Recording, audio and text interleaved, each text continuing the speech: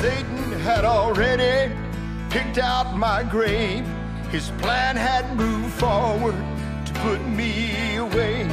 I drifted so far, would anyone care that I'd soon be lost?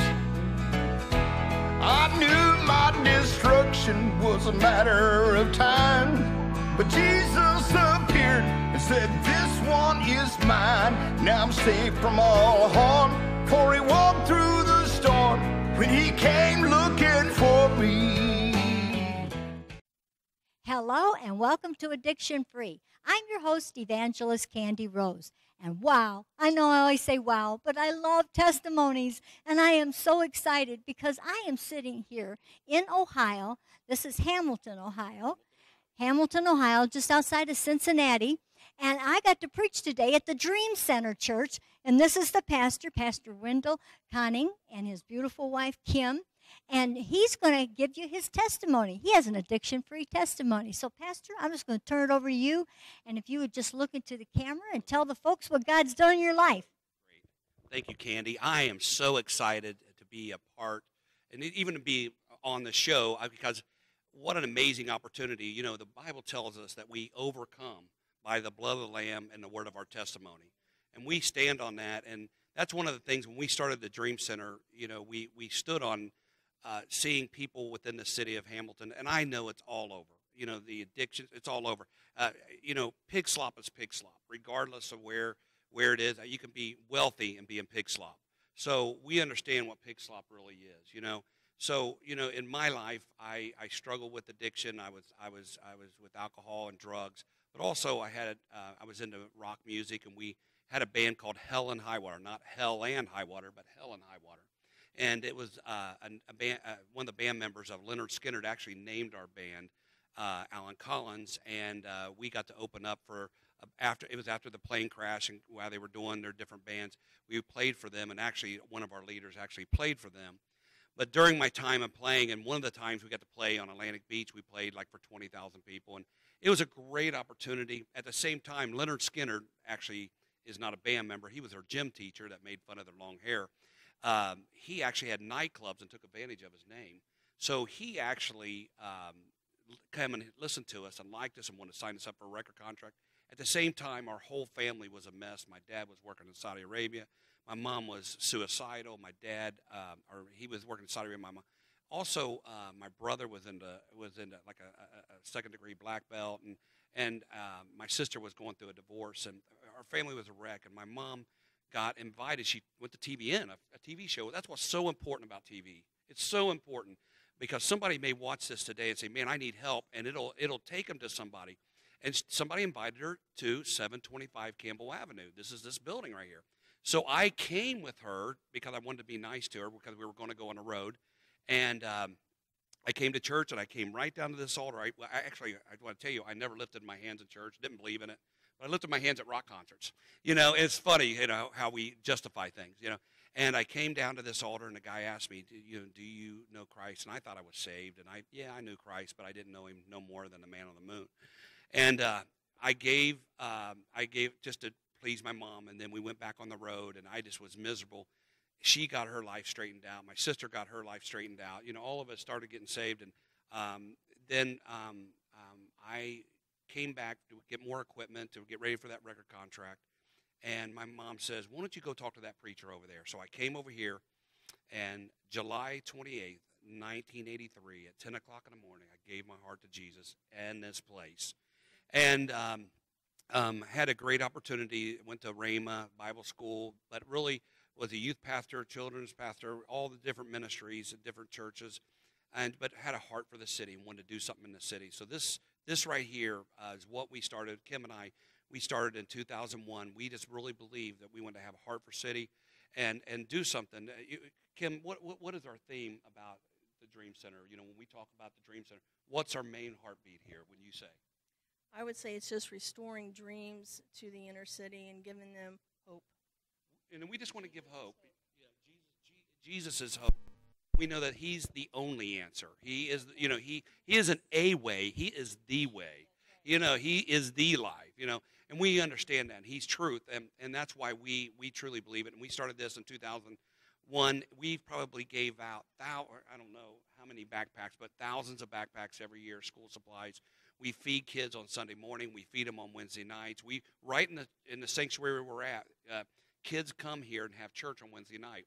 Downstairs, youth have church, and um, we we do Christmas gifts. We do Thanksgiving turkeys, and it's just a great opportunity to be able to pour into these people. And Kandi, I want to thank you for what you do because you know to be able to share your testimony across the world is so important. When you share today about your testimony, it just means how important testimonies are.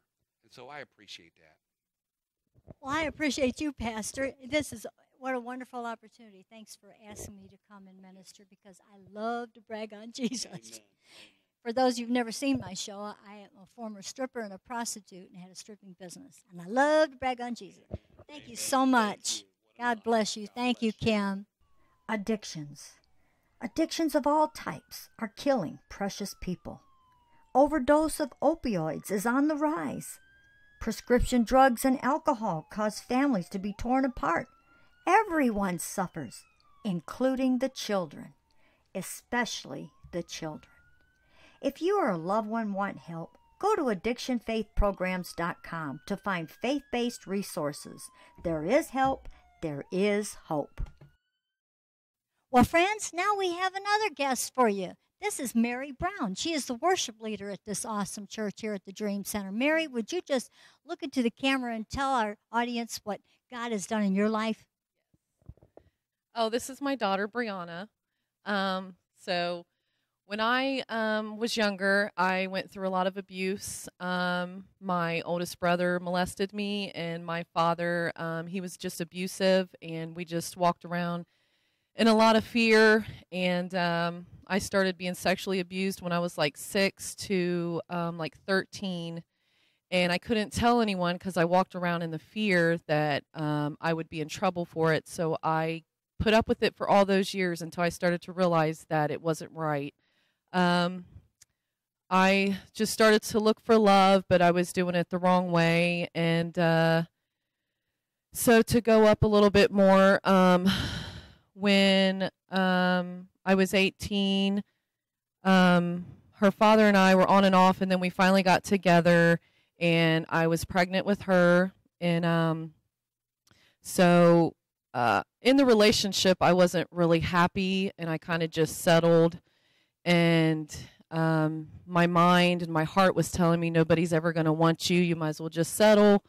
And so I settled in that, and uh, I wasn't happy. But we had my daughter, and um, so as time went on, I just was unhappy in the relationship. I had got pregnant again with my son and um, out of the unhappiness, um, someone caught my eye and I got into an affair. Um, nothing I'm proud of, but I had fell into a trap and was in an affair. And so um, out of that, um, we got, um, as time went on, the affair, we got caught.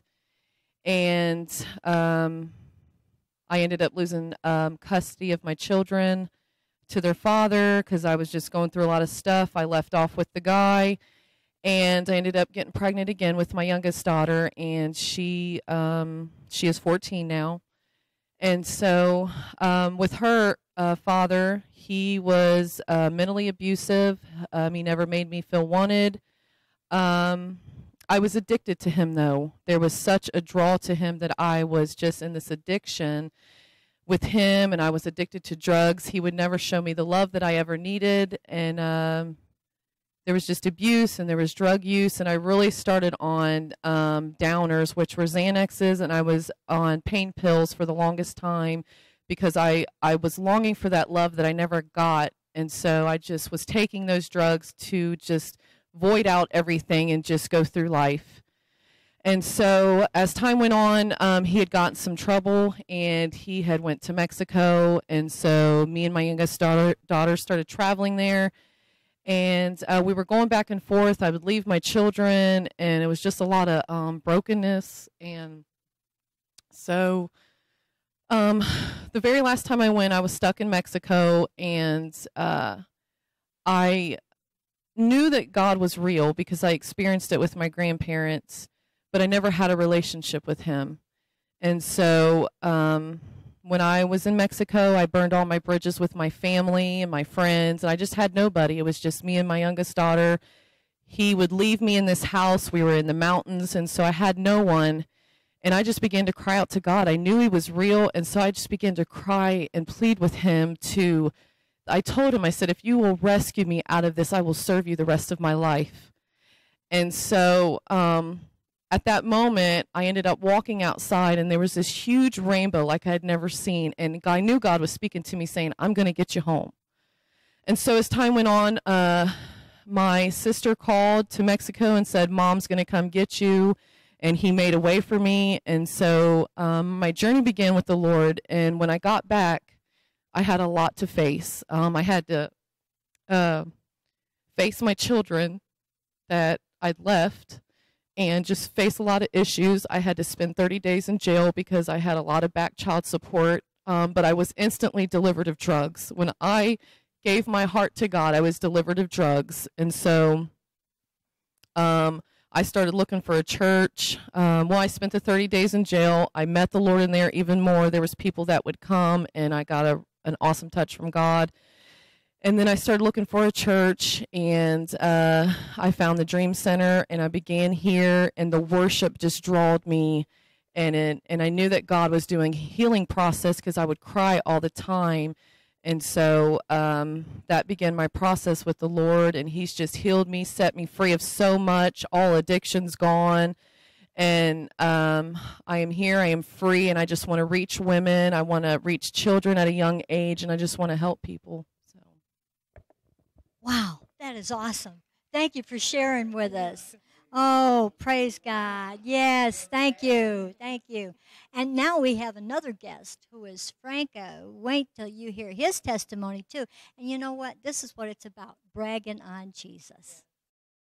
Well, friends, now I have another amazing guest for you that VTN, the other network that I'm on, suggested that I come to Ohio, which I did, and interview Franco. Now, Franco was a professional bodybuilder, and he has an amazing testimony of the transformation God did in his life. So, Franco, I'd like you to introduce your wife and your son there and tell the folks what God has done in your life. This is my love, my sons, because there's one in the oven. This is my lovely life. This is my lovely wife, Morgan, and my son, Frankie Jr., who saved my life when he was nine years old from a widowmaker heart attack. Praise Jesus. And before I tell you what God has done in my life, let me just tell you this. Before I met Jesus, I was a stinking hot mess. I mean, I was selfish, self centered, cursed, empty, lost, void of feeling, and I was like just a dead man walking. That was my life before God. 10 years old, my father and mother decided to get a divorce. Me and my dad had a plan for my life that I was going to be an all American football player. I was working out and doing everything I could. My dad was my coach, and I was on my way to being an all American football player. But mom and dad decided to get a divorce. He took off, didn't see him for years, which left a big hole in my heart. So I came up with my own new plan. My new plan is to was I was going to be the best teenage bodybuilder in the world. And I had to take care of that void that my father left in myself, that big empty hole he left in my heart. So I took care of that with marijuana, alcohol, which would later on go to pills, cocaine, crack, crystal meth, and heroin. Actually, heroin at 30 years old took my life. Heroin overdose, wound up in a trauma unit in Newark, New Jersey. No, I was dead because I woke up on life support, and the doctor looked me in the eyes and said, Franco, well, he didn't say Franco because he didn't know who I was. He said, Young man, we had to bring you back. So that was some of the stuff that, that drugs did in my life. We know the enemy, he came to steal, kill, and destroy. When I was 24 years old, I became Mr. America. But let me take you back. When I was 18 years old, I was Mr. Teenage World Champion, best built teenager in the world. 24 years old, I got my pro card and became all uh, became one of the best pro bodybuilders in the world. Signed a contract with Cybergenics, which became the largest supplement company in the world, and I sold my soul to the devil.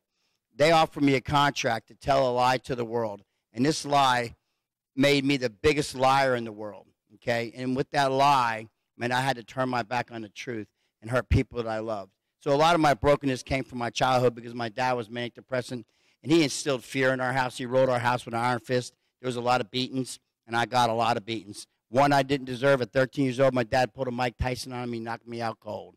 Okay, so you know the idea, this ministry thing that I'm in today, I didn't choose it. It chose me. Because the idea of a loving, caring, providing, uh, nurturing father, I didn't, that was not my father. So I didn't understand a God that, that was going to be like that in my life. Um, like I said, he gave me beatings. My dad was like Dr. Jekyll and Mr. Hyde. So my life was full of drugs. And I became one of the best bodybuilders in the world on drugs. And people ask me all the time, how did you do it? I don't know. I just did it. I did a lot of drugs, but I worked real hard. And like I said, I became a world famous bodybuilder. And that fame and fortune had me travel around the world. I got famous. I mean, anywhere I got off a plane in any country I was in, people were asking me for my autograph. That's that's who I was. I was on the cover of dozen magazines, uh, TV commercials, and ESPN. I was just world famous. But that lifestyle led to a life of death and destruction. Like I said, I died from a heroin overdose. I died from a widowmaker heart attack. And and thank God that I didn't I didn't actually die that day because my biggest fear in my life was if I died, who would come to my funeral? I mean, that addiction led to homelessness, unemployability, mental distraught, emotional pain. I mean, I was suicidal and homeless with a wife and minor son. I mean, my, I was on top of the world, which eventually the life of crime, the life of drug addiction led to a life of crime, which had me put in prison for three years. And in prison, I was crippled in fear. In fact, I was so broken in prison, I had no strength that I couldn't even carry my prison box across the prison yard. That's how broken I was. But see, God showed me later on the story of that box, why He made sure I couldn't carry my box across the yard. And I don't want to get there now, but I'll tell you about that later. Anyways, that lifestyle led me to a life of death and destruction and crippled in fear in, in prison. And in prison, I laid in my rock asking myself all the time, what in the heck happened to me? How did I get here? I was one of the best in the world, and now I'm a broken convict. I'm a, I'm a number. I was no longer a person, but I was a number. And I laid there and I asked myself, I said, God, I know you're real. I mean, I had doubts about you, but I know you're real. So if you're really real and you are who you say you are, would you please show up and give me some help? Because I was hopeless and I did not want to live another day. And it just like that, when I felt like I was drowning in quicksand and I couldn't take another breath, God took his mighty hand down from heaven and grabbed mine and pulled me up out of that murky quicksand. See, God's hand that day was the light, love, and hope that this hopeless man needed to survive one more day. And you know, today, after that, he rescued me. I, it's my job to go rescue people. And that's what I do. I have a ministry today called Jacked Up for Jesus. And it's our vision to encourage, motivate, inspire the broken, bound, and bruised into living a victorious and purposeful life in Christ. Now, I told you what I was like before God. Today, instead of being selfish, I'm do my best to be selfish. Instead of being self-centered, I'm Christ-centered. I was once void of feeling, and today I'm full of joy. I was once cursed, and now I'm blessed. And I'm no longer a dead man walking. I'm spiritually alive in Christ. That's who I am. I'm a child of God. Praise God. Now stick around because we're going to lead you in a prayer to the Lord. Well, friends, once again, you've heard some amazing testimonies and Franco. I am so thankful that Franco let me come here to Ohio and interview him.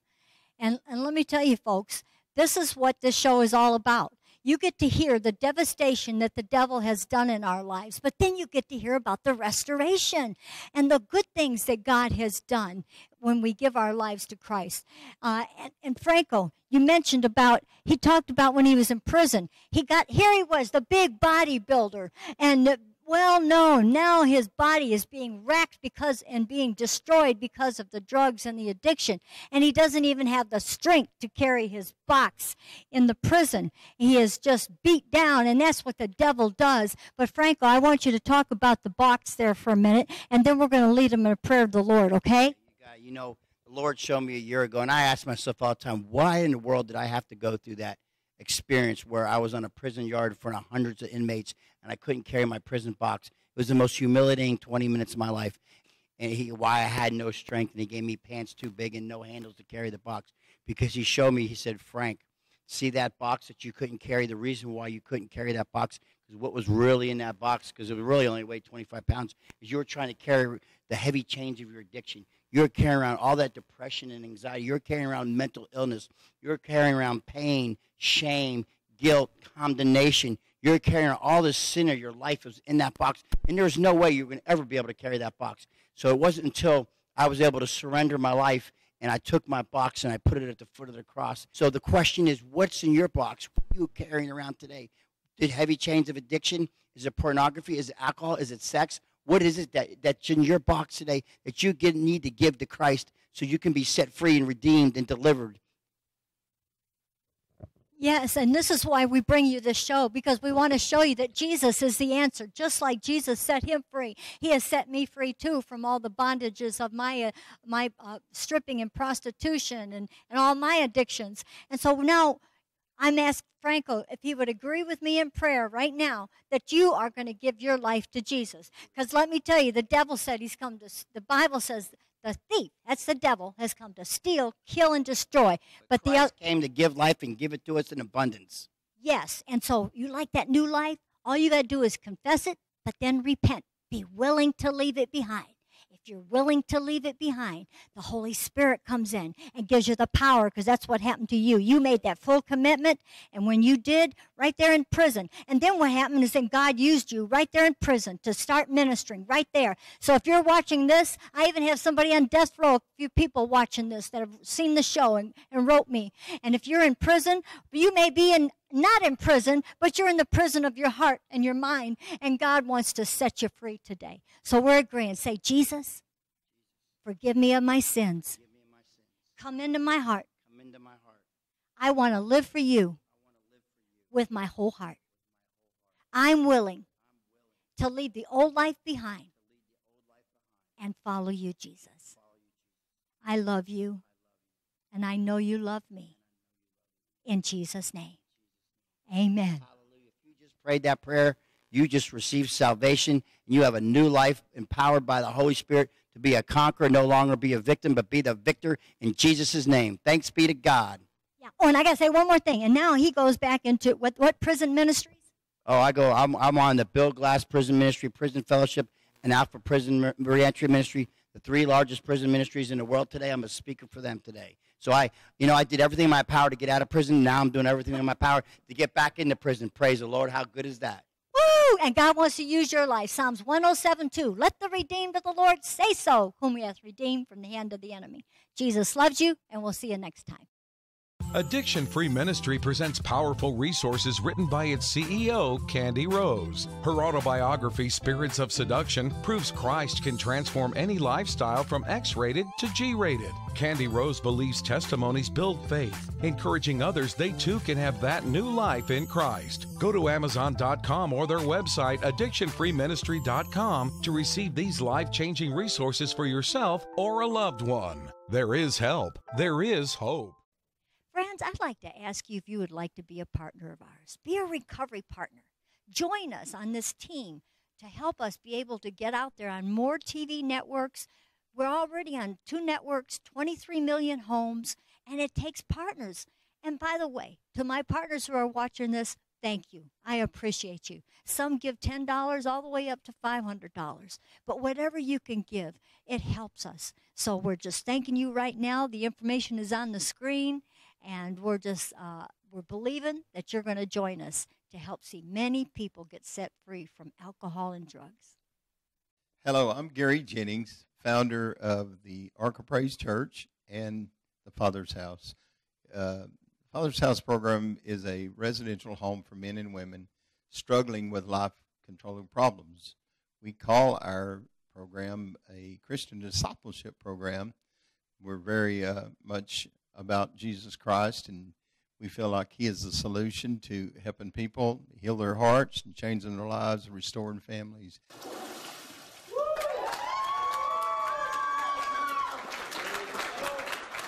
Hi, friends. This is Kandi Rose, TV host of Addiction Free. My church, the Ark of Praise, and I would like to introduce our pastor, Gary Jennings. Him and his wife, Danette, are the founders of a recovery home, the Father's House. And we'd like to present his CD, You Chose to Be My Friend. And his friend, Gerald Crabb, produced the CD using his songs. And all proceeds will go to the Father's House. To receive your copy, go to thearkofpraise.org. Hi, uh, my name is Jared Flanagan, President and CEO of Teen Challenge Women's Ministries. We have Teen Challenge Women's Ministries that we are the leaders of. And we have centers in Arkansas and Missouri and Tennessee and Mississippi. We feel like addiction is the number one in the arsenal of the enemy against God's children in these last days. And we are on a crusade to fight it. We are absolutely against it. Uh, we know that the hand of God will prevail to anyone that will come to Him as a solution.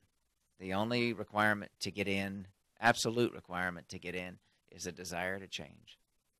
I'm Richie and Carly Willis, and we just want to tell you we both were in major addictions in Hot Springs, Arkansas. We both come out of major, major drugs and major, major addictions. We just want to tell you that today we have men's homes in Hot Springs called Solomon's Porch. There's three homes for men. Uh, we have our own church today, 411 Highland Street, called Highland Street Revival.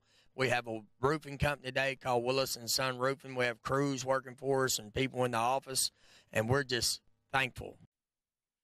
This is Pastor Tim and my lovely wife Leslie.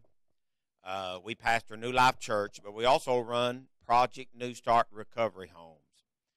Uh, these are homes designed to help men and women overcome addiction, bondages. We deal with any type of bondage that there is. We've been doing this for 20 years. God has just uh, literally changed lives through faith in Jesus Christ. Give us a call at 870 523 8413. God bless. Hi, I'm Jamie Nash, and this is my beautiful wife, Regina. I was in addiction for over 23 years of my life. In 2005, I went into prison for four and a half years, and while I was in there, I wrote uh, From Meth to Life, One Cell at a Time, and Five Steps to Freedom. If you would be interested in us coming to your church or organization, we'd be more than happy to, and let everybody there is let everybody know that there is hope after addiction. I'm Lisa Haynes, Clinical Director for Shalom Recovery Centers.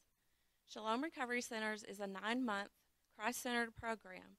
We provide services for both men and women, and we seek to serve those looking for help with life controlling issues and addiction. The Harbor Home is really a house of miracles. It is located in a small church in central Arkansas, in Conway, Arkansas, and it's a faith based program anywhere from six months to one year, uh, residential for women coming out of drug and alcohol addiction. We have women of all ages that come to the Harbor Home and from all over the United States. And it really is a place where people can come, get down to the real root cause of the issue. Our first six months is a time of healing, a time of reflection, and really an opportunity for you to come to realize your value and your worth and uh, really to develop and cultivate a real relationship with Jesus Christ, which we believe is the answer for all addictive behaviors. Tell me how you came to know me. Was it at some preacher's plea? Were you all bound up with worry? when he came to set you free. Did it take you your whole life